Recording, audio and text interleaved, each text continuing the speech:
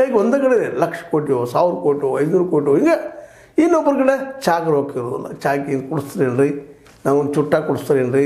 ನಾವು ಸಿಗರೇಟ್ ಕುಡಿಸ್ತೀರೇನು ಅನ್ನುವಂಥ ಪರಿಸ್ಥಿತಿ. ಒಂದಿಟ ಒಂದು ಒಂದು ನೈಂಟಿ ಕೊಡ್ತೀರೇನ್ರಿ ಅನ್ನುವಂಥ ಪರಿಸ್ಥಿತಿ. ಈ ಇಂಬ್ಯಾಲೆನ್ಸ್ ಇಂಥ ಜನ ನೈಂಟಿ ಪರ್ಸೆಂಟೇಜ್ ಇದ್ದಾರೆ ಈ ದೇಶದೆಲ್ಲ. ಹಸುವಿಗಾಗಿ ಒದ್ದಾಡೋರು, ಒಳ್ಳೆ ಬದುಕಿಲ್ಲದಂಥವ್ರು ನಾಳೆ ಏನು ಚಿಂತೆ ಮಾಡೋರು.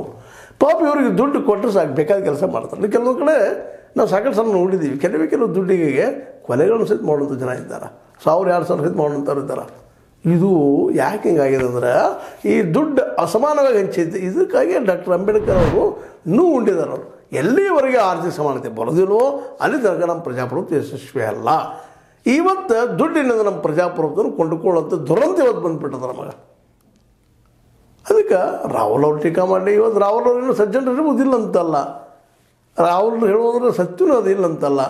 ಹಾಗಾದರೆ ಮೋದಿಯವ್ರು ಹೇಳ್ತಾರೆ, ಅವರು ಸುಳ್ಳು ಹೇಳ್ತಾ ಇಲ್ಲ. ಅವರು ಇವ್ರ ಮೇಲೆ ಆರೋಪ ಮಾಡ್ತಾರೆ. ನಿಮ್ಮಲ್ಲಿ ಹೋಯ್ತು ನೀವು ಮಾಡ್ತಾರೆ ಅಂದರೆ ಕರ್ನಾಟಕದಲ್ಲಿ ಕಾಂಗ್ರೆಸ್ಸಿಗೆ ಹಂಚಲಿಲ್ಲ ದುಡ್ಡು? ಗ್ಯಾರಂಟಿ ಕೊಟ್ಟರು ಗ್ಯಾರಂಟಿ ಹೋದ್ರೆ ನೀವು ದುಡ್ಡು ರೂಪಣ. ದುಡ್ಡು ಹಂಚೋದು ಇವತ್ತು ನೋಡೋದು.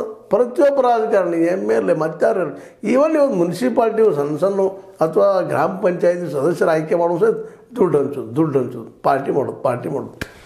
ಈ ಪಾರ್ಟಿ ಮಾಡಿಸ್ಕೊಳ್ಳೋಂಥ ದುಡ್ಡು ಹಂಚಿದಂಥ ವ್ಯಕ್ತಿ ಆಯ್ಕೆ ಆದಪ್ಪ ಅಂದ್ರೆ ಆ ದುಡ್ಡು ಎಲ್ಲಿ ಸಂಗ್ರಹ ಮಾಡವ? ನಮ್ಮ ಟ್ಯಾಕ್ಸ್ ಬಂದಂಥ ದುಡ್ಡನ್ನ ಅವ್ರು ಸಂಗ್ರಹ ಮಾಡವ. ನಮ್ಗೆ ಬಂದಂಥ ಸ್ಕೀಮ್ಗಳನ್ನು ಅಲ್ಲೇ ಹೊಡ್ಯಾವ ಅದನ್ನು.